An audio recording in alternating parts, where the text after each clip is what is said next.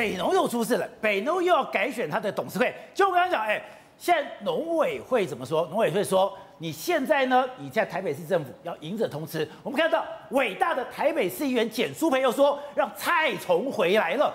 真的吗？现在台北市政府有这么坏吗？台北市政府现在根本不跟官合作，要跟民合作，要跟蔡崇、蔡爸合作。其实宝杰哥，以前你有听过北农吗？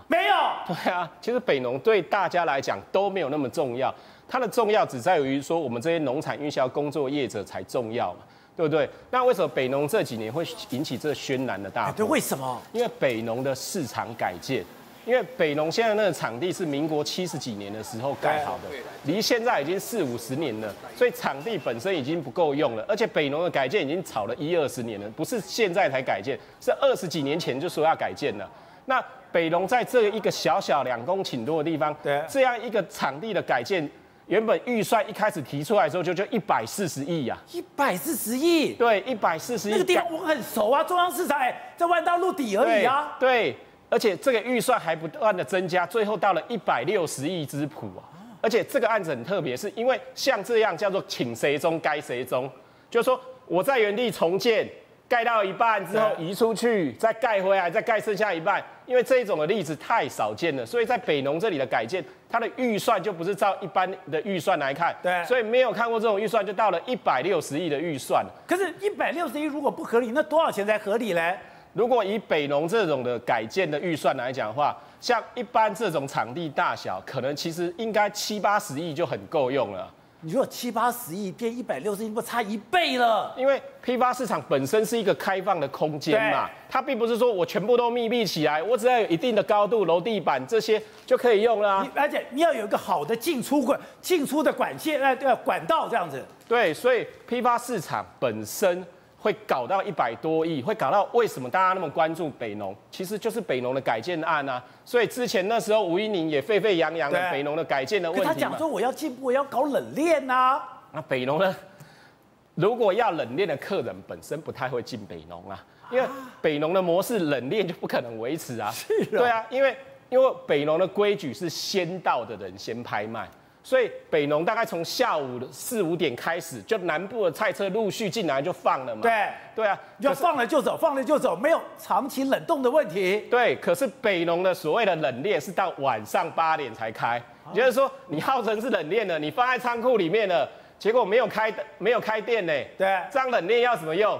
对不对？冷链也中断掉啦。所以在批发市场那边，以北农目前在讲的，北农根本就没有做好冷链啊。为什么？因为店钱太多了啊，因为那边的设计跟规划都有问题啊。对对啊，很多人没有去过北农的冷链，像我是去过的啊。北农是等于说他在里面隔了一个库板，盖了一个区域，等于说做冷房。可是晚上我三点多的时候，我在那里的时候，那个门都是开着的啊。那门都开着的时候，那个冷气都会流掉，都会漏掉啊。对啊，那你要怎么维持冷？你进去那个空间是很冷，没错，但是它的电钱就很多啊。对，所以晚上八点开北农就受不了了。如果你是真的下午五点、四点就进去了，那北农更受不了啊。所以说，好，那现在北农一个最大的鬼故事或者一个最大的利益就是它要改建，改建这个数字这么大，数字这么大到底合不合理？中间有一个很大的问号，很大的问号呢，今天就来了。今天陈吉仲，哎，又可以又可以退皮的，他怎么说？我就退席，我不跟你玩了。说你台北市政府非常的恶劣，刚刚讲到了，说。你操控所有东西，你要规划旁去。上一次北农改选的时候啊，农委会总共拿了十五席的董事。现在这些反陈积重的人呐，以前都是那时候吴英玲的时候有没有七大工会力挺吴英玲啊？现在这些人全部都不力挺农委会啦，有没有？你像王庆忠啊、陈振辉啊，这些人以前都是最挺你的人啊。对啊，为什么？因为这些人感受到农委会就把他们当成尿壶啊！我要经营权的时候就要你的支持，对我经营权拿到之后就嫌你脏嫌你臭，说你们这些人只是菜霸啊！然后简书培说菜虫回来了，菜虫回来了啊，妨碍农民的利益呀，有没有？北农也说了，他说他们是陈委会陈其中也说，他说他们是改革是变得更好啊，这些人不支持他们呢，就是这些改革妨碍他们的利益啊。对啊，用这样抹黑的手段去说这些人呢？那其实，在市场里面，其实，在台北是一个结果，因为你在产地便宜，不可能到了北农就贵嘛。对，啊你到产地贵，不可能到了北农就便宜嘛。所以所有的农产品一定是产地价就决定一切了嘛。北农只是因为它是比较大的消费地，比较有大的公开价，对啊，那这些绝对不是有北农在就可以去调控这些价格的啊。好，那另外一个，我就看了以后，哎，我也觉得头皮发麻，因为我是很喜欢吃蛋的，我一天大概吃两到三颗蛋。哎，他说现在从巴西来的台湾有个进口鸡蛋，从那五月二十六号到到了上周才抵台，哎，整整花了将近一个月的时间。啊，一个蛋在海上漂流一个月，这在巴西它的技术是比较好的。哦，巴西技术，巴西本身出产很多的饲料，它是禽类的大国，所以他们规模比较大的时候，他们出口能力是比较好的。所以这些蛋它的外壳可能都有喷上蜡，所以它可以比较防菌、比较保存的比较好。但是它来了台湾之后，毕竟经过了一个多月那么久，因为到了台湾这些蛋是不能直接用的，它还要再经过洗选。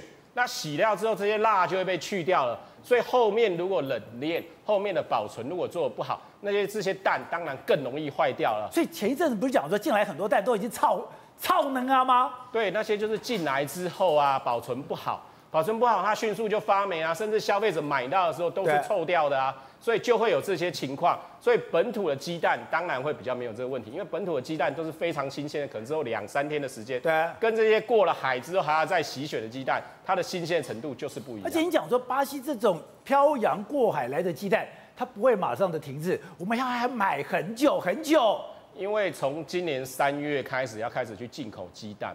那你如果临时要去跟这些其他的国家要去买蛋的时候，不会有人卖你，因为我鸡养了之后就是要养它一段时间嘛。所以说农委会这些签回来的合约都是长约，都必须至少要一年以上。所以农委会自己也讲了，这些鸡蛋扩大进口的补助到明年六月。为什么到明年六月那么久？不然那这这几个月的鸡蛋怎么办？这几个月其实六七八这三个月六七八九这几个月不会缺蛋啊，不会那么缺嘛。可是你还是要去进口。继续去补充这些进口鸡蛋，不行的话就给加工业者使用。好，董事长，如果你问我说，在民进党所有的政府官员里面，我最佩服谁？本人最佩服陈吉仲。哎，你在当副主委的时候，每次说，哎，我要跟主委同进退，哭得稀里哗啦的时候，可是主委一离开，我就欣然的接受了主委的位置，然后现在还可以当部长的位置，不但当部长的位置，那现在北农搞砸了，北农搞砸了，哎，他也不检讨自己，都是吧？都是蔡崇惹的祸。呃，陈其仲是唯一的一个真正非常核心的小英男孩。他是小英男孩。蔡英文非常非常喜欢的一个部长，从头到尾就提拔他，因为他是个律师嘛，然后走过去走的是社运路线嘛，所以打的社运的正义路线之名，然后进到这个官场。官场之后呢，就完全跟这个民进党哈就沆瀣一气，完全干民进党不敢干的事情，那全统统都敢干了。现在我今天听完我就匪夷所思嘛，哎，我家里面吃个鸡蛋，要搞到巴西的蛋，这搞漂洋过海一个月，不，这这这个是怎么回事呢？因为台湾的食品卫生，台湾的美味，台湾的小吃，在亚洲是有名的。我们的一，我们这一方面是我们最重要的食的文化，在亚洲可以居首位的。对，所有的韩国人到日本人到所有人到台湾来，包括最近的 A I T 的主委报来到台湾来，对，就说哎呀，每次到台湾来东西是好吃的不得了，这是人人称称赞的一个最重要的一个食品文一个食文化。结果我今天知道我们的鸡蛋是巴西来的，我老天爷啊，你搞什么东西啊？蛋我们到的食品是怎么样？品质好是什么东西？新鲜，新鲜嘛！你搞个巴西蛋，你吃你怎么我怎么敢吃呢？对不对？所以那这中间就是谁去买的，谁采购的，采购有没有猫腻？然后再来看下台北台北市这个北龙的选举的过程，那个更荒谬。他有什么好吵架的？第一个你选举输掉了嘛，他选了九席嘛，那中间十四席是台北市政府只有五席哦，其他的。这个九席的是龙会派跟其他地方派系哦。那本来在北龙里面就是三挂，就是中央的农委会，然后台北市政府，还有张荣卫阿比亚嘛，龙会派的嘛，这是结构啊，这长久存在结构啊。那现在这个结构并没有改变，你知道吗？就是阿比亚张荣卫跟台北市政府合作了嘛，那怎么会变成蔡崇回来呢？啊，那他当年跟你农会合作的时候，他嘛是蔡堂啊，那简书培怎么不骂他呢？就简不简素为这个根本是打手嘛，这一四五零啊，就因人设事哦，跟你合作就是好人啊，跟台北市政府合作变成菜虫，是什么名堂嘛，对不对？他第一次选举，他故意酒席全部缺席，哦，那你刘慧，他搞这一套嘛，你输个唔甘弯嘛。冰斗，他输个冰斗，你无义无输，就输就领输嘛。要结果中央跟地方合作嘛。那这个时候来讲啊，大家都有取得面子，然后良善的去经营这个公司。那其实刚刚听到第三个更可怕哦，原来有个一百六十亿工程哦，啊，我讲唔知有去拖跌了，有寄托大概马上注意起来，那那个这个手都要伸进来了。所以这个这个这里面原来有那么多花样，我们都不知道。这样一闹，闹得全天下都知道。喂，所以很多人觉得，哎，我如果对现在的结构不满意的话，那我就要政党轮替。政党轮替关键是，哎，现在国民党到底选不选得赢？他的现在状况如何？现在国民党把你的好朋友金小刀请出来了。宝杰哥注意，小刀来了，小刀既出，谁与争锋？然后小刀一出，你看，来来，导播我们给个特写，侯友谊好几天没笑了，对不对？他侯老三民调第三名以后，最近就心情不好。你看今天早上他笑了，观众朋友，这个场合哈，对我跑国民党新闻以及二警来讲哈，我觉得是重要的。为什么？很简单哈，这个照片很重要。我们也我们也不夸大，也不要讲到金普聪有多神，但是金普聪当了侯友谊的执行长。然后呢，这个叫组织召集人，副召集人在证明中嘛，好，那副召集人是林鸿池，负责新北市板桥以及这个地方组织，还有谢龙介也是副召集人，然后国政排比书的这个国政召集人就是这个杜子君，他是张善政的副这个副手哈，这样子加起来以后，侯友宜真的勉强能笑了吧？这个我直接讲，利刀见影或者是手起刀落的效果就是七二三换侯没行啊，哦，不可能了，当小刀一来以后，把刀子插在桌上之后，谁要换侯，好把它插在那边了，谁要来锅没有了。你国民党说什么？谁要来锅？谁要来锅？来锅！这锅子被刀子捅破，以后这锅子不能煮粥了。锅没了，鬼掉龙博奇啊！郭台铭，我不知道他会不会，但我负责任跟大家报告啊，我也不是没有在采访，没有在走掉。很多国民党地方势力是在郭台铭讲说，不然你出来好了，后援都得杀。但是呢，现在小刀一插下去之后，虽然现在金普松跟马英九已经不像过去在当两千零八呃到二零一六那个时候他们的那个马金体制这么的密，可是马英九有没有挺侯友谊？他之前有跟大家一起照相，对不对？马英九跟金普聪挺侯友谊之后呢，至少我跟大家讲三个情况都出现了。第一个，七二三之前不可能换侯了，即使你民调还是第三。